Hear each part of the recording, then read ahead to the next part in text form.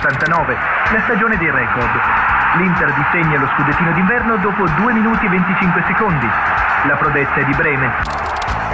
A proseguirlo non può che essere Matteus, che ha velocità e potenza da unire ormai stile raffinato.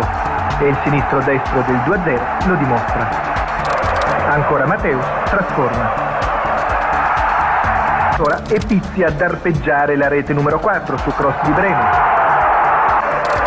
Ed è il terzo dei tedeschi, Klinsmann, a rifinire la quinta dopo una punizione del principe Lothar.